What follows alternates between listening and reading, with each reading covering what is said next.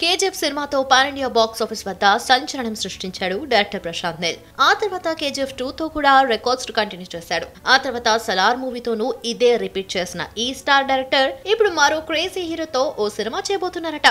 Cinema చేయటమే కాదు ఆ సినిమాను కేజీఎఫ్ స్టోరీతో లింక్ కూడా చేయబోతున్నారట.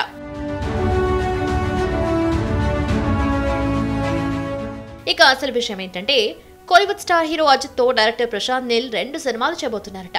ఇందులో ఒక సినిమా పూర్తి స్థాయి యాక్షన్ డ్రామాగా ఉండబోతుందని కోలీవుడ్ టాక్. అలాగే మరొక సినిమా రాకింగ్ స్టార్ యష్ నటించిన కేజీఎఫ్ యూనివర్స్కు లింక్ చేస్తుందని ఇన్సైడ్ న్యూస్. అంటే కేజీఎఫ్ త్రీ కంటే ముందే అజిత్ నీల్ సినిమా వచ్చే ఛాన్స్ ఉన్నట్లు తెలుస్తోంది.